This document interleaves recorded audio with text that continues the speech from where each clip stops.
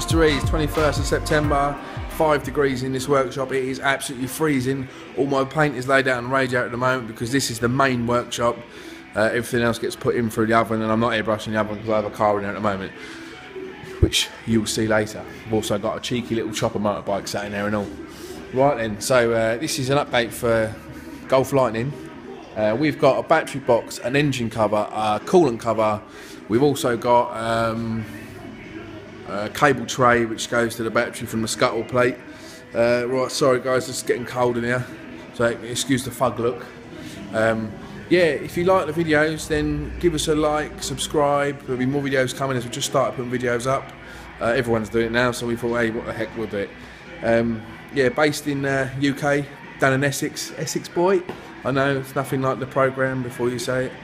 Um, right, then, let's get to it and show you this battery box. This isn't done. I've still got detail to do on the lightning and the skull, so ignore it at the moment. I'm leaving it to dry. So here we are at the moment. Here is this battery box. This is the back part of it. Let's give you a quick walk around. Look, this is the side. This bit here with a cutout. This faces the front, the slam post of the bonnet.